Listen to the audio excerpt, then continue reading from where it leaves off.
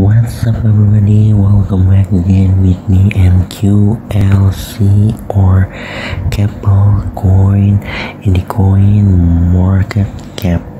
Well, well, well, today is very, very happening day for QLC or Capel Coin because QLC pump again and again.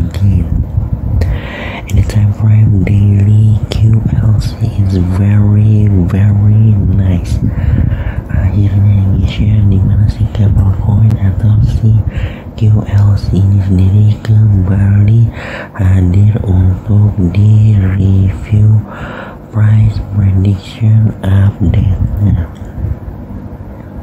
buat teman-teman semua BTW yang mau nge-trade daripada si QLC ini BTW aneh pakai coin market cap ya. Tapi kalau mau nge-trade bisa di Bittrex di Binance dan beberapa exchange besar lainnya. Kalau kita lihat di sini di time frame weekly daripada si QLC ini cukup lumayan menarik. Karena kalau kita lihat di sini harga daripada si QLC ini sendiri masih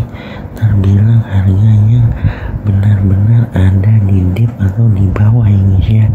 Di harga 0,03 dolaran harusnya sih potensial pump daripada si QLC ini sendiri masih sangat-sangat menarik dengan kemungkinan potensial untuk comeback daripada si QLC ini sendiri. Kemungkinan bisa saja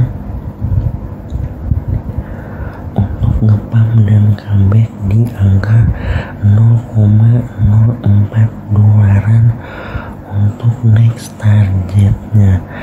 Dan potensial untuk long termnya ada kemungkinan si QLC ini sendiri bisa comeback di 0,1 dolaran untuk potensial long termnya.